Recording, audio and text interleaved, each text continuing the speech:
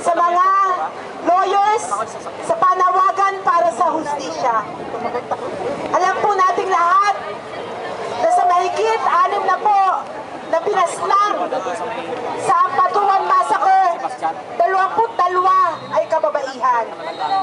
Mga kababaihan na nasa politika, mga kababaihan na mamamahayag, mga kababaihan na abogado, at mga ka- kababaihan, ang iba ay wala namang kinalaman sa politika. Mga kasama para po sa amin na matagal nang nagsusulong sa pantay na karapatan sa partisipasyon ng kababaihan sa lahat ng aspeto ng buhay kasama na sa larangan ng politika, ano ba ang malinaw na sinasabi sa karumal-tumal na pagpaslang sa mga kababaihan. Alam po natin kung ano ang manera ng pagpaslang sa mga kababaihan. Meron pong mga buntis, dalawa sa kanila, ang walang awang pinatay. Meron pong mga pinaril sa masaselang parte ng kanilang katawan, sa kanilang mga ari, sa kanilang mga suso. Ano ang ibig sabihin nito? Ang ibig sabihin po nito, ang mga kababaihan ay muling bumalik sa kanilang mga bahay.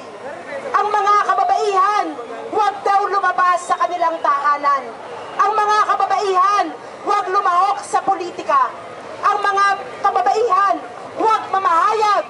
Ang mga kababaihan, huwag mag-abogado. Pumalik kayo sa inyong tahanan. Ito ang malinaw na sinasabi ng terorismo na ginawa nila ang batuan. Malakas ang kanilang loob sapagkat kapit-bisig nila si Presidente Arroyo. Sa kasiwayan ng palad, isa ring babae, pero babae na malaking kahiyan sa hanay ng mga kababaihan.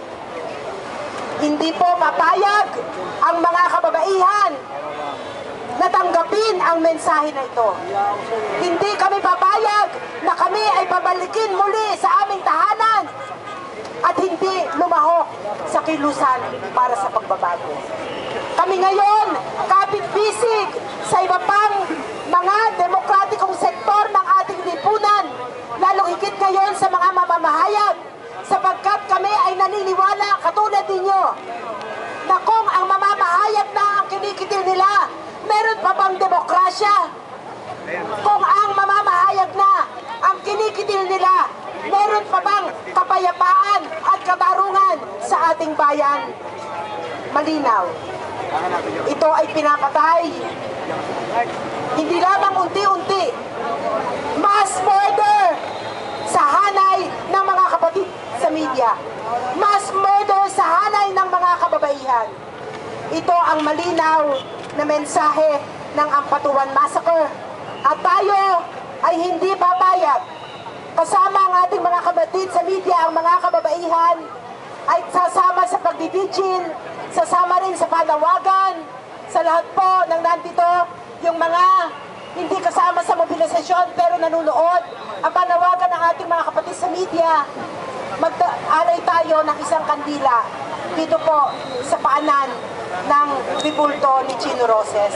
Para ipakita ang ating pagkondina sa karumal-dumal na krimen na ito para ipakita ang ating protesta Arroyo na siyang nagkakanlong sa mga mass murderer at mismong siya ay mas may pananugutan sa mass murder na ito.